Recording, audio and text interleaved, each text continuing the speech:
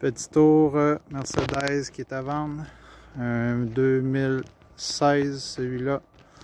124 000 km au compteur. Équipé avec euh, racket de toit Happy Road XP.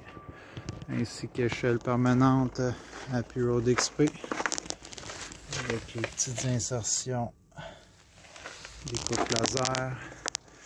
Euh, au toit, lui, on retrouve un panneau sans ampères configuration un peu différente, moins axée sur le courant, donc moins besoin de capacité de batterie, etc. Vous allez voir. On retrouve une lumière extérieure ici.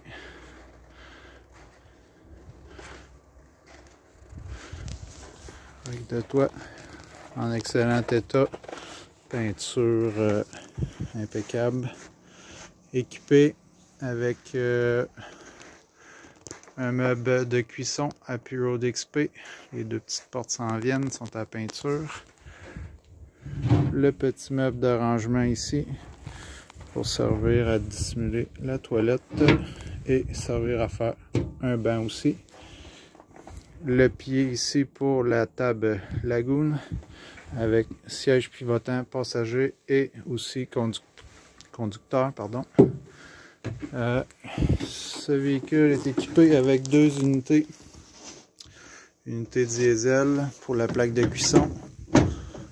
En mode cuisson comme ça, on peut faire euh, cuire évidemment les chaudrons et autres. Quand on rabat le couvert, l'air circule entre les deux, sort devant, devient un chauffage pour l'habitacle. Euh, ça fonctionne diesel celui-là avec consommation de courant autour de 2 ampères, donc minime capacité de batterie, on vient de diminuer beaucoup.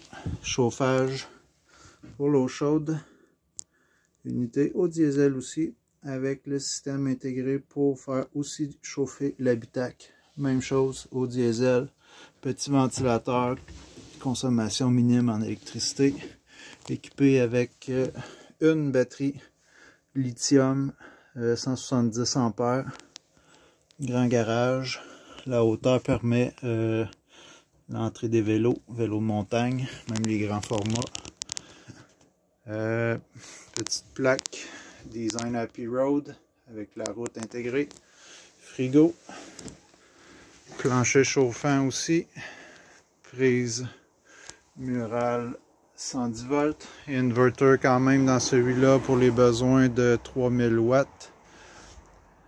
Très bien équipé. Un armoire d'arrangement 4 pieds Happy Road XP aussi.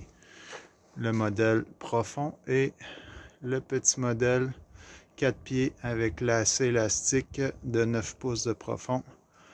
Côté pratique. Équipé aussi avec une tablette, celui-là au-dessus des passagers des sièges conducteurs passagers, maxeur au toit, un petit ajout dans celui-là de haut-parleur à l'arrière, ainsi que le radio a été pimpé pour un Pioneer. Très propre, conversion terminée ce matin, donc flambant